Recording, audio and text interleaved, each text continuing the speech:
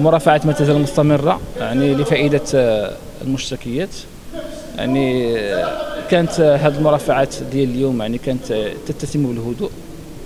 آه، علاش؟ لأنهم آه، تجنبوا آه، استهداف شخص آه، توفيق بوعشرين وحاولوا ما أمكن يناقشوا الوقائع والقانون مع غياب أي وسائل إثبات أي وسائل إثبات غياب أي حجة أي دليل الخبرة ما تعمقوش فيها لأن في الحق ما غاديش تفيد المشتكيات هي في العمق اللي فائدة توفيق بوعشرين وهذا غنبينوه في, المرافعة.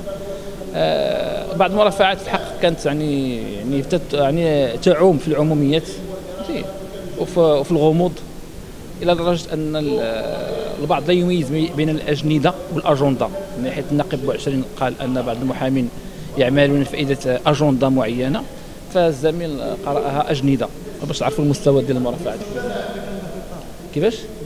لا سبب الصراخ هو أن الزميل آه، أحضر مجموعة من المراجع و- و- والناقب زيان طلب مهلة كافية لمناقشة جميع هذه المراجع هذه وإلا استبعادها من الملف. فالمهم هذا هو النقاش اللي كان هذا هو سميتو اليوم اليوم كان استمرار للمرافعات ديال الطرف المدني كان تناول الكلمة الأستاذ زغلول من هيئه الرباط والاستاذه قلع من الدار البيضاء والأستاذ الاستاذ الهيني.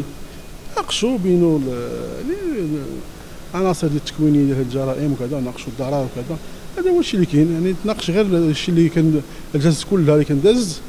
بين المحكمة اللي الضرائب كي- هما كيتشكاو منه يعني ما وقع على الضحايا المفترضات هذا هو اللي هو اللي كان اليوم. والفلسفة حول السلوك. هنا على اليسار كان واحد القاعة كيخطبوا فيها شي محاميين على هذا الشيء.